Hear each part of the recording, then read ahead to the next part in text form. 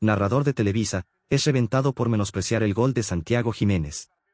Y es que en la final de la Copa Oro al salir de cambio Henry Martín, por Santi, la manera de intentar menospreciar el gol del Bebote pero sobre todo, por las palabras del porrista de Tudene Paco Villa, que dijo.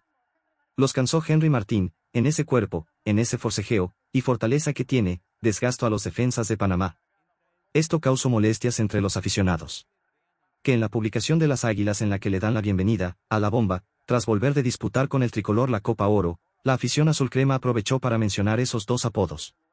Venga bomba, a cansar defensas para que Quiñones meta muchos goles, lo que provocó las risas entre aficionados. Los cansó Henry Martín en ese cuerpo, en ese forcejeo, en esa fortaleza que tiene. Pero hizo un comentario Paco Villa, super ratón, me pareció puntual. Henry los desgastó, Henry los cansó y Santi Jiménez lo aprovechó.